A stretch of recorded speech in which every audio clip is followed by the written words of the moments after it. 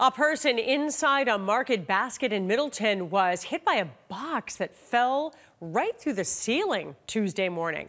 The fire department tells WBZ TV it's believed that a customer was hit and then taken to the hospital. The box was in an attic space at the supermarket when it got knocked over and then crashed down through ceiling tiles. The victim's injuries are not considered serious.